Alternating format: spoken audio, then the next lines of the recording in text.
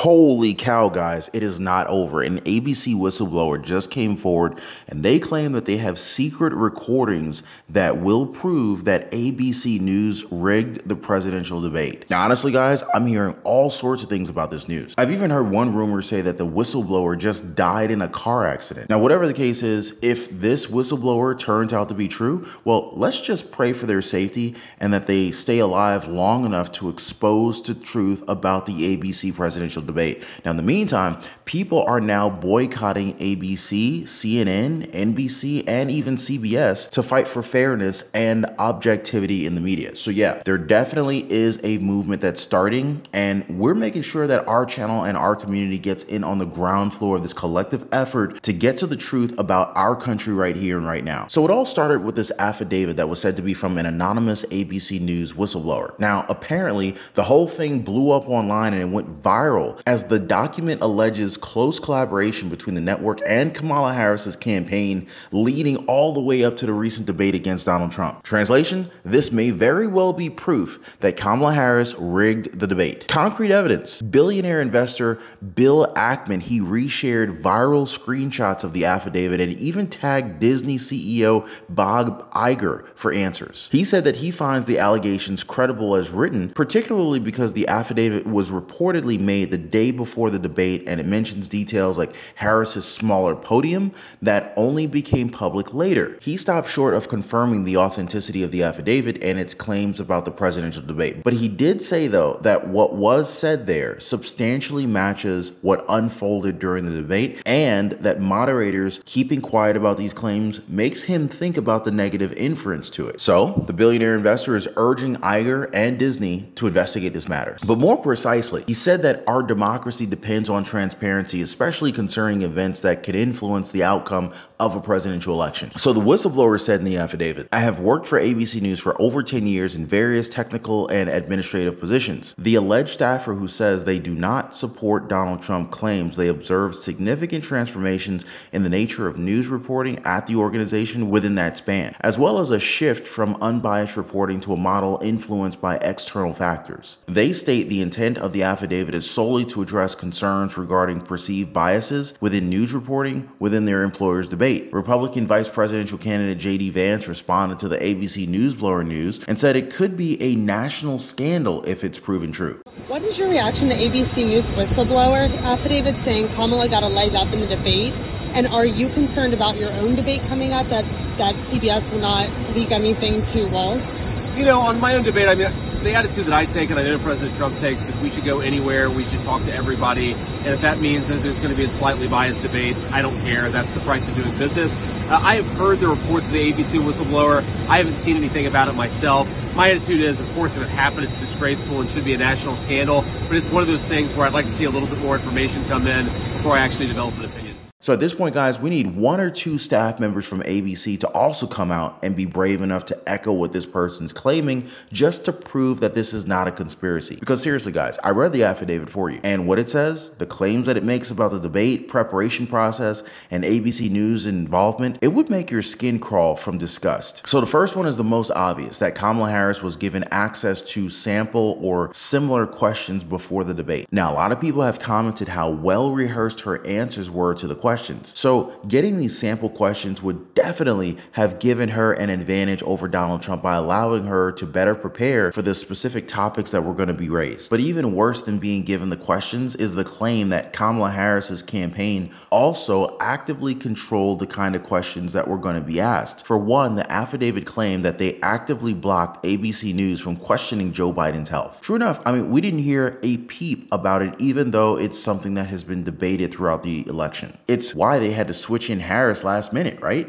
With that being said, I totally get it if Harris's team ensured that this line of questioning was off limits. But it wasn't just that though. The affidavit also claims that the Harris campaign influenced ABC News to avoid probing into allegations against Harris's brother-in-law, who has also been accused of embezzling billions of dollars in taxpayer money. So yeah, for real guys, it's also mentioned that ABC staff members were fearful of retribution from Trump, meaning they could have felt pressure to comply with the Harris campaign's request to avoid conflict. Now, hold on to your hats, guys, because this next part is where it really gets even more hair raising. So the whistleblower claims to have secret recordings that prove the Harris campaign pressured moderators to fact check Donald Trump during the debate. Needless to say, if these recordings exist, they could offer evidence to support these claims, not to mention completely blow up the election in a very significant way. Can somebody say election interference? Because this affidavit really took down the whole debate hard. It said that ABC News was given instructions about which questions to steer clear of during the debate, meaning the Harris campaign had significant influence over the content and the flow of the event. And like what we saw with the three on one against Donald Trump, this included a demand for live fact checking of Trump, while Harris herself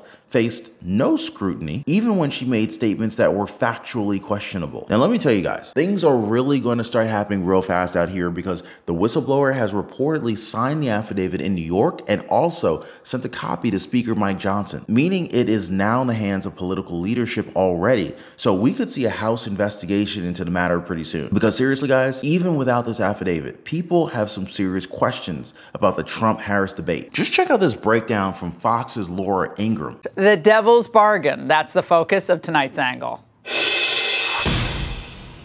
I want you to ignore most of the commentary you've heard from the pundit class on the debate last night. As usual, the talking heads misread the concerns of millions of Americans watching at home. Tonight, I'm going to give you the key takeaways from the debate. First, ABC's moderators were essentially acting as Kamala Harris's debate coaches. Time and again, they served up softballs with zero follow ups. Vice President Harris, you call climate change an existential threat. What would you do to fight climate change? A really quick response here, Vice President Harris, on this notion of weaponization of the Justice Department. One of your campaign's top lawyers responded saying, We won't let Donald Trump intimidate us, we won't let him suppress the vote. Is that what you believe he's trying to do here? You're great. Do you agree you're great? Now, this was entirely predictable. Now, remember, a top exec at Disney, whose portfolio includes ABC News, is a longtime pal of Kamala Harris. But another key point, and I think very, very important, is that Vice President Harris showed us last night that she's really not a lot more than a puppet of the failed DC establishment. Now, she took weeks to rehearse, during which she said no, had no adversarial press interviews, and then, with a friendly panel, showed that she can memorize some lines and speak in platitudes. From the start, Harris knew she would not be fact checked or asked real follow up questions. But still, even with her absurd ABC running mates helping her, Harris revealed a lot about herself. And the picture was not altogether positive. Regular Americans who don't sit in studios like this, who don't get paid to talk for a living, will not be moved. She didn't talk about her policy changes between 2020 and 2024. Her whole centrist, moderate stance is just a facade. She's saying she can fix the problems that her administration has caused, but I just don't know if I can afford to take that risk. All these policies that she's saying she's going to implement on day one of presidency, why, why does she have to wait until, what, January 20th to do that? So yeah, it wasn't just Laura Ingraham or Fox News. Even voters are unconvinced by that ABC debate and Kamala Harris. But what about you guys? Did you feel any sort of sincerity from her during that debate? Drop a yes or no in the comments, guys. And while you're at it, I would totally appreciate a tap on that like button and subscribe to the channel. That way we can keep these videos going and keep growing our community of like-minded people. You guys are the reason why I'm here. So let's keep this thing going. Now we got plenty more on this one, so stay right there, guys. So JD Vance, he said it would be a national scandal if the whistleblower whistleblower claim is true that ABC News gave Vice President Kamala Harris a leg up in her debate against Donald Trump earlier this month. But more interesting is how the Ohio senator doubled down on his commitment in this upcoming debate with Minnesota Governor Tim Walz, hosted by CBS, even if he thinks it won't be a fair showdown. For the vice presidential candidate, it's a matter of going anywhere and talking to everyone. And according to JD Vance, if that means that there's going to be a slightly biased debate, he doesn't care. That's the price of doing business. But let's be real for a second here, guys. There's no need to rely on that unverified affidavit. Anyone with eyes could see that last week's debate was clearly a partisan attempt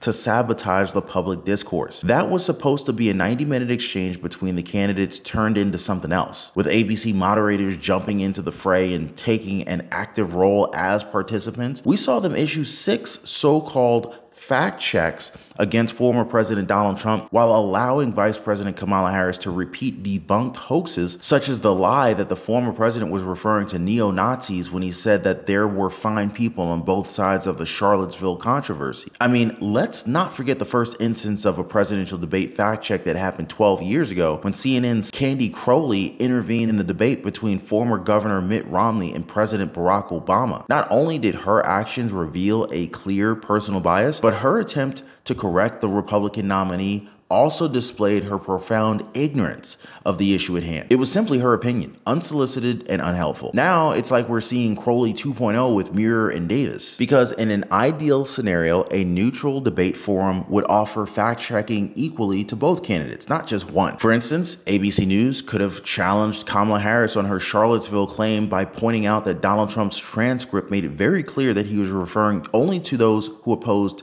to tearing down historic statues as fine people. But ABC wasn't exactly impartial as we saw. Like her CNN predecessor, ABC's Linsey Davis fact checked Donald Trump on an issue that she herself didn't fully understand. She confirmed that there is no state in the country where it is legal to kill a baby after it's born, as if she were speaking from the Democratic platform. Yet, former Virginia Governor Ralph Northam, a Democrat, once described in a radio interview what can happen during a partial birth abortion procedure. The infant would be delivered. The infant would be kept comfortable. The infant would be resuscitated if that's what the mother and the family desired, and a discussion would ensue between the physicians and the mother. So, where's the lie, Davis? It doesn't take a whistleblower to see that ABC had no intention of being an impartial moderator. David Muir, who leads the most liberal news program on traditional television, he consistently leans left. Now, according to Media Research Center, 93% of his stories about Mr. Trump were negative, while 100% of stories about Ms. Harris were positive. Davis is Harris's sorority sister. Senior Disney executive Dana Walden, whose portfolio includes ABC News, is very close friends with the vice president. Even Disney itself, a company that has long moved away from its family friendly roots and embraced a more progressive agenda of diversity, equity, and inclusion. Disney's recent show, Star Wars The Acolyte, was canceled last month due to poor reception, with audiences giving it a low 18% score on Rotten Tomatoes, frustrated by what many saw as thinly disguised leftist propaganda. And we may have seen this Disney directive in the debate as well when the Disney ABC moderators repeatedly cut off the Republican nominee just as he started to gain traction. A lot of times, we saw them changing the topic to something more favorable to the Democratic candidate. It kind of makes you think, instead of muting the candidates' microphones, maybe it's the moderators' microphones that should be muted with their role limited to keeping time. I read a book a long time ago and it basically said something that was really powerful and profound to me. And it said something along the lines of look at your five closest friends, and typically your income is an average of your five closest friends. Now, with that being said, I was kind of like thinking, okay, well, how do I find people who made way more than me so I could increase my chances of having a higher income? I mean, it only made sense, right? For less than a cup of coffee a day, for less than a dollar a day, join a powerful network of people who are ready to change their lives for the better. And I will be putting a limit on this group, so get in while you can. Be positively motivated by others who are also on the same pursuit. So I'm going to leave a link for you guys so you can join me over on the Life Pursuit Network in the description down below this video. So check it out, guys, and let's not be a victim of this great wealth transfer that is taking place right now. I mean, just look. Just look at how this crowd in the Shanksville Volunteer Fire Department on September 11th, 9-11, reacted to Joe Biden and Kamala Harris compared to how they reacted to former President Donald Trump when they walk in. They definitely know what's what.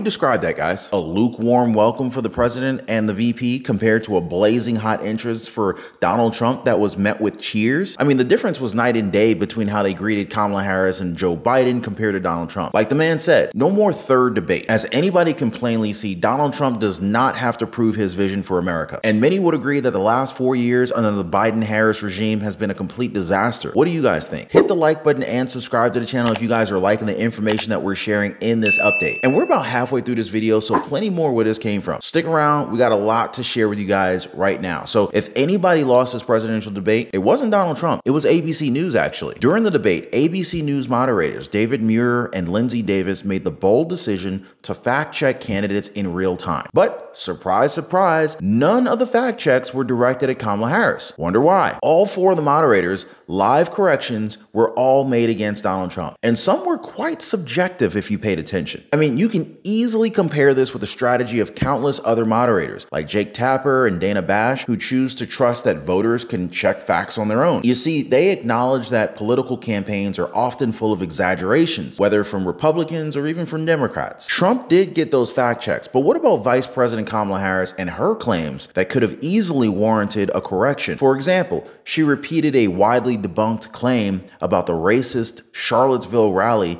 that even Snopes debunked, and her comments on Donald Trump's bloodbath remark and the late term abortion could have also been addressed. Davis even checked Donald Trump on that, but many say that it was somewhat of a dubious fact check. Commentators like Ann Coulter criticized the debate's fairness, with Coulter stating Donald Trump is having to fight all three other people on stage. I've never seen such an unfair debate. She said that the ABC debate was worse than Candy Crowley correcting Romney and then admitting that she was wrong hours after the debate. Now, honestly, guys, it's kind of surprising Republicans even agreed to a debate on ABC in the first place. I mean, for years, Trump era conservatives have been urging the Republican National Committee to starve legacy news networks of their lucrative access to debates. This movement gained so much traction that RNC chairwoman Ronna McDaniel led the decision to withdraw from the storied commission on presidential debates. Billionaire tech mogul and one of Donald Trump's biggest supporters, Vivek Ramaswamy, also said something about it in a primary debate last November. He took the opportunity to criticize the traditional debate format, suggesting instead that this should be Tucker Carlson, Joe Rogan, and even Elon Musk. I mean, could you imagine? According to Ramaswamy, we'd have 10 times the viewership asking questions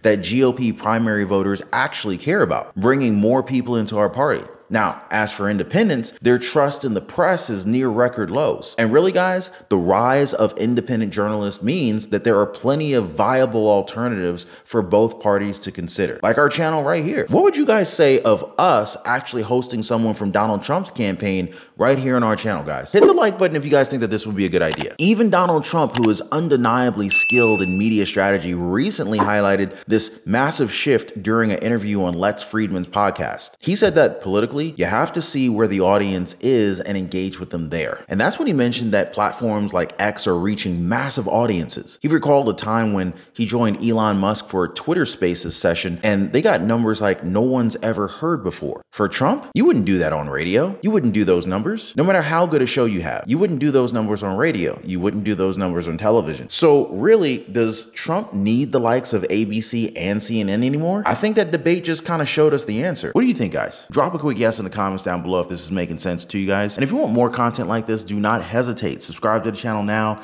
Hit that notification bell right after that. It's totally free to do so. And that way you can have our latest updates delivered right to your device. Like this other video where we talk about the former president Donald Trump going viral on TikTok for his closing statement in the debate. Kind of makes you wonder, even against all odds, who really won that presidential debate? Definitely not one to miss, you guys. So check that one out right after this one. But hey, I'm not going to keep you guys long. I just want to say thanks again for watching. Thank you for liking the video and subscribing. I'll see y'all next time.